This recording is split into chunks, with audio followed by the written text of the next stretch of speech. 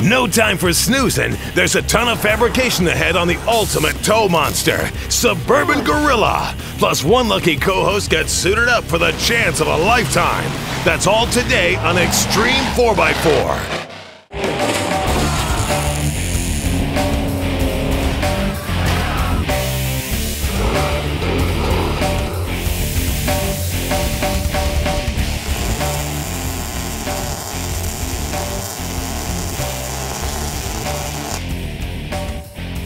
Welcome to Xtreme 4x4 and another day working on our Suburban Gorilla project, our ultimate tow rig, where this truck is going to be just as happy on the trail as it will be towing our trail rigs. Now we started with an 87 Chevy Suburban, and then we got a hold of 4x4 bodies for one of their Urban Gorilla body kits. Granted, we spent 10 grand on that thing, but we're going to be turning a lot more heads with that than we will be spending 10 grand fixing up that old rusty Suburban. Now, I know what you're thinking. Hey, that truck's cool, it looks neat, it's got lots of power, and I wish I had one to drive, but I'm not building one. But wait, wait, just wait a second. Remember, the donor vehicle for this truck is an 87 Suburban. It's a solid axle GM truck. There's thousands of these things out there on the road, and the modifications we make to this frame apply to all those trucks. Like these two inch rough country leaf springs installed in the back last time, and now this week on the front axle, we're gonna do a coil spring conversion. But the first thing we're gonna do today is an upgrade to any frame, and that is boxing it in. The whole point of boxing in a frame is to strengthen it by putting a plate on the inner side of the C-channel. That's going to stop the frame from flexing up and down and twisting on itself. I've already stripped out all the brake lines and all the fuel lines, but if you're not careful enough, you might strip something out that's going to make the frame a lot weaker. The part that Jesse is talking about is a cross member like this one right here. Now we already pulled one out of the front of this frame to put the Duramax in place, and this one right here is in the way of our fuel tank. This 21 gallon polyethylene tank came with our Urban Gorilla body kit, and we want to lower it between the frame rails right here. We could put it down in here, but it's going to get in the way of our winch that we're going to put behind this back bumper. So this cross member has to go. But this adds a lot of strength to the frame. Just like rungs on a ladder, this holds the frame together. If you take too many of them out, the frame's going to fall down. So if we cut this out, we got to replace it with something else. With a temporary brace welded to the frame, The factory cross member is removed.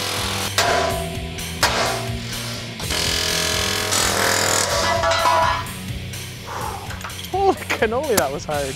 Boxing plates are welded to the frame.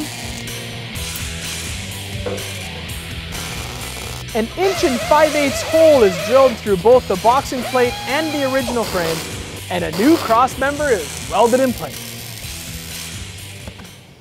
Another trick you're going to want to remember when you're boxing in your frame is when you cut your boxing pieces, you want to cut them a fraction of an inch shorter than the frame itself. That way the weld will fall in the corner and weld on both pieces of metal. Whereas if you had it flush, you're only going to have your weld on one piece of metal and it'll be weak and it'll break easily.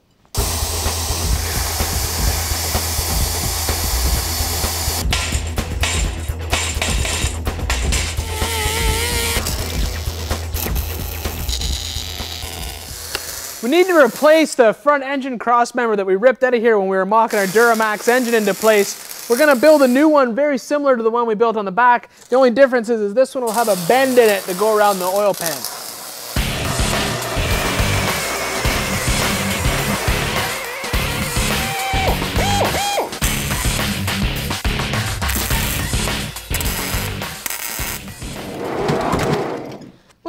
Cross member made, we can go ahead and start making our transmission and transfer case cross members. But first, we got to get our engine in there and start making its mounts. And since this whole setup here is huge, it's actually bigger than any drivetrain I've ever seen before, we're gonna pull this transfer case off so we don't exceed the limit of our crane. And just to give you an idea of exactly how big this thing is, let's throw a tape on it here and we'll give you an idea right off about the balancer. This thing is about seven and a half feet long. That's a big drivetrain.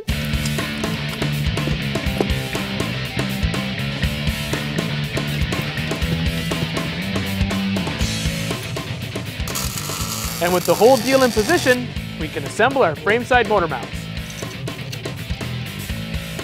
Tack everything together. Then measure and build our tranny support.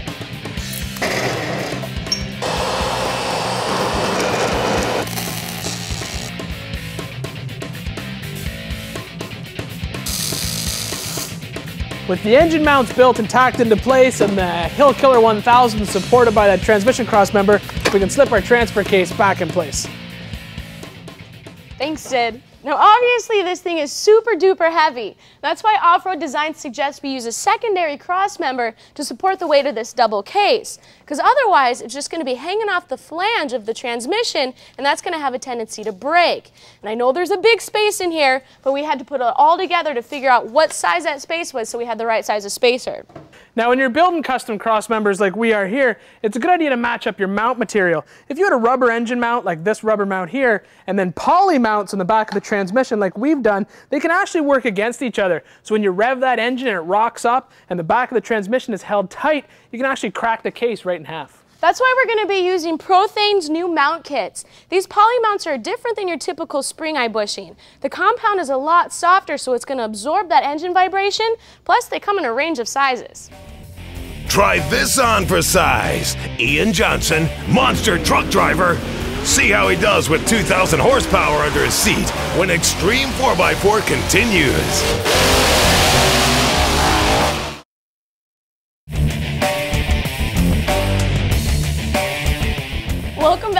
Back to Xtreme. That's Marlo, our cleaning lady. Say hi to everybody. Hi, y'all. Hi Marlo. Hi there. You know, Jesse, I like the trails, I like the rocks, but really in my heart of hearts, I'm a man of speed. I know, I've driven with you before. That's funny.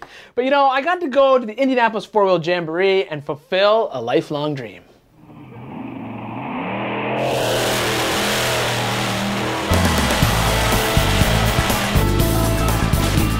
For 24 years, the Indianapolis Four Wheel Jamboree has been the race to win, where taking it easy is not an option. If you're a tough truck guy, if you're a monster truck guy, show and shine, you want to grab the brass ring. You want to be included in all the rest of the legends of the past 24 years. I mean, it is one action-packed three days of 4x4 fun. For the fans at Indy, they want their fun done big. When it comes to motorsports and off-road vehicles, nothing's bigger and nothing's badder than monster trucks.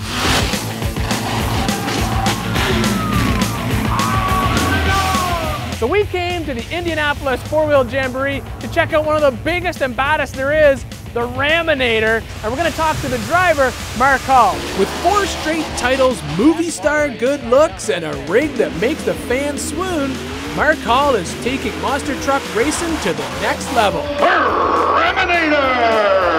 I think, uh, you know, for a lot of years, maybe we were, I hate to say this, but maybe we were kind of like the professional wrestling of motorsport. But I think now we're kind of coming around and we're starting to look more like a legitimate motorsport. And, you know, the racing is, is, is just awesome, no, no doubt about it. It's more than awesome racing that's turning doubters into fanatics. You know, we can do a lot with these vehicles, and I think that's kind of the appeal to them, too. Kids like them because they think they're nothing more than a big toy.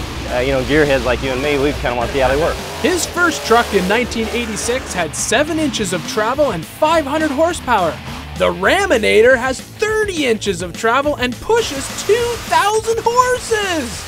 And when you're making that kind of horsepower in a Dodge, you can only have one kind of engine. What kind? There isn't any other kind, is there? You gotta have a Hemi, you know. This is a 565 cubic inch Dodge Hemi. It's uh, supercharged, fuel injected. They run real strong for it. Now the coolest part of the drivetrain, the whole drivetrain to me, is the transfer case because it's really different from every Yeah, other truck. it's a, it's a quick change rear end. It's a 16 inch drop. You take this back cover off, and it almost looks like, uh, it's very similar to like a, a, stock car, a quick change rear end. There's gears in there. We can change that gear ratio depending on, you know, on, on how long the course is and what we're doing. One thing people have seen a lot in rock crawling, but really it's always been in a monster truck, is the rear steering, right? Yeah, the rear steering's kind of, you know, that's another thing that kind of makes a monster truck a monster truck. We have a, a rocker switch mounted on the left-hand side of the seat, and so if we're going to make a left-hand turn, we'll hit that switch to the left, we'll steer to the left, and the rear wheels will actually go to the right, so it'll make us swing around. You know, a few years ago, we came up with turn to center, which that helps a lot. It takes a lot of that guesswork out. So when you let that uh, switch off in the cab, these switches under this uh, cover here will turn it back on and run the wheel straight.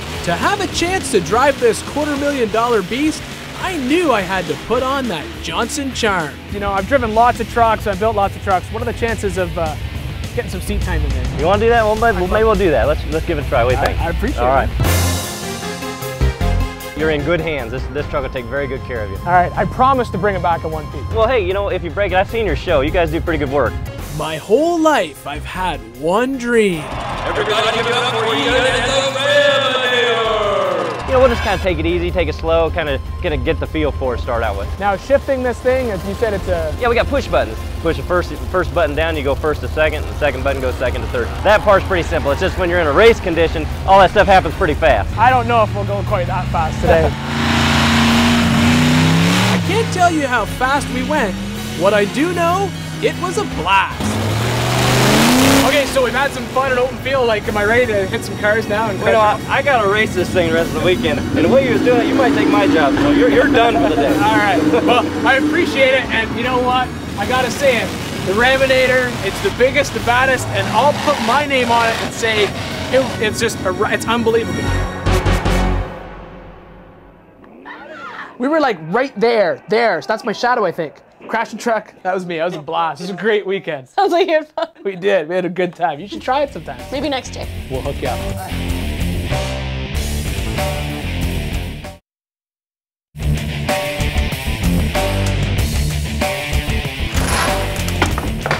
Welcome back to Xtreme 4x4 in our Suburban Gorilla build, or SUG for short. And with the frame box for strength, we can turn our attention to the front suspension. Now, as you guys know, the donor truck for this vehicle is an 87 Suburban, and K-Series trucks have these solid axle leaf-sprung front axles. And although they're great for strength, ride on the road is not that good. So we decided to convert this truck to a coil spring front axle using a Panhard and a four link. We're going to be using these five inch lift springs that you would find for a Dodge truck, a set of 5100 series shocks per side, and a set of control arms, all from Rough Country Suspensions. When the big three automakers scrambled to build better riding four-wheel drive trucks, most OEMs started building independent front suspension systems. Dodge stuck to their guns and refined the coil spring solid axle pickup. Since Dodge has some pretty good time invested in designing their front suspension, we're going to borrow some measurements as well as some parts from the junkyard.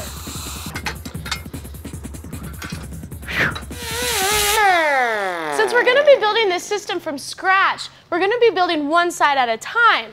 That way the passenger side leaf spring will be able to keep the axle in place while we build our spring buckets and our link mounts on this side.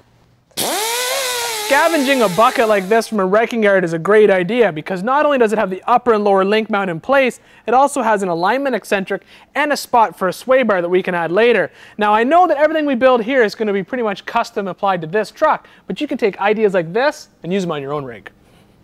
Using identical holes in both right and left frame rail, we punched in some larger holes, slid our new cross member into place. This way we know it'll be square. Using the engine cross member and the one we just installed, we'll bend a hoop to act as the new upper coil mount.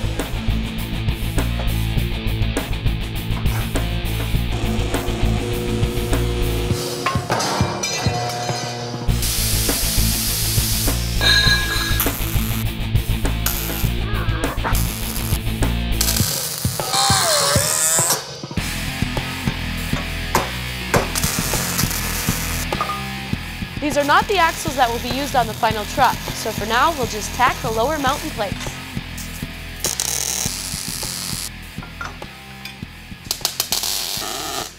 To get the final placement for this upper bucket took a little bit of work, and here's how we came to that final number. We measured the total height of this spring, and then measured up off the bottom spring bucket to get a baseline. Now, we expect the spring to compress two inches under the load of the drivetrain, and we need a two inch lift on the front axle to match the rear. So we took this bucket and moved it down a total of four inches. Now that the spring buckets are taking shape, we can go ahead and start locating the mounts for our trailing arms by using the measurements that we got off of that Dodge stock truck. The nice thing about rough country is that we can be using these arms for a lift anywhere between two to eight inches of lift.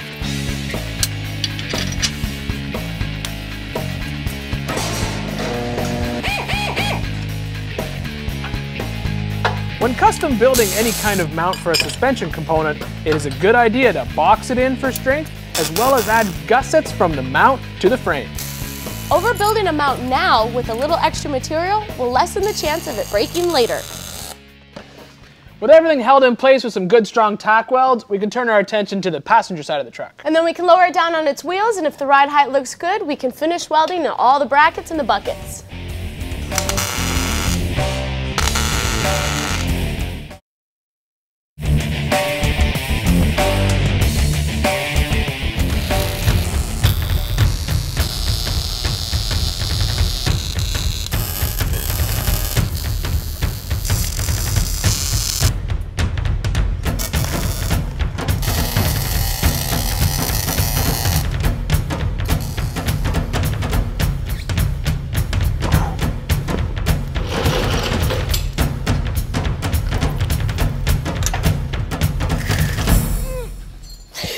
Now that the frame is pretty much taken care of, we can continue on some modifications so we can fit this monster drivetrain in our truck. Plus, we want to get the body prep before we send it out to get coated inside and out. The H1 that inspired the Gorilla only had four seats, and we needed more room than that. So we're going to be using Smittybilt's new Outland leather seats with adjustable lumbar support. They're fully reclinable, and the center console has plenty of storage compartments and cup holders. Now the set comes with these three pieces, but we're going to install them with a twist. We're going to be installing two of those sets. We'll have two bucket seats in the front, and then we'll put both of the jump seats in the back, along with the other two bucket seats. So in total, we're going to have six seats when we need them. This is a custom installation for this truck.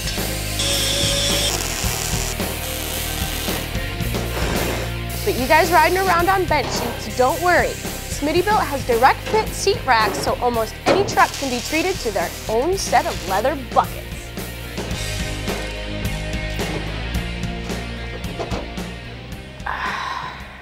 With our seats in place, we can start to plan out our steering. Now, we could have used the factory column from our donor truck, but the whole thing was pretty long and it could have interfered with our turbos. So we chose this full polished shorty column from ididit. It's a tilt unit with built-in key and cruise control. Now we topped it with a Grant silver tone carbon fiber look wheel and then to connect this to the box we'll use some Borgeson full roller U-joints and some double D shafting. How those seats, Jess? Comfy? Mm-hmm. Well, as you can see, we got tons of work done today, and well, one of us is a little tired, but that's all right. But you know what? We got a couple more things to finish before we send this body out. We obviously got to build this transmission tunnel in here and mount the steering column in its final spot, but in the end, this thing, it just looks awesome. What do you think, Jess? Yeah, it looks great. All right, well, okay, have a good nap. I'll take care of this.